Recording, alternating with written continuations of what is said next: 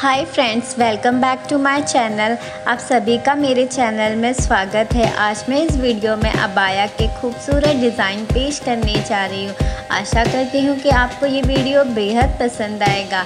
और कमेंट में बताइएगा कि आपको अबाया के कौन से डिज़ाइन ज़्यादा अच्छे लगे हैं।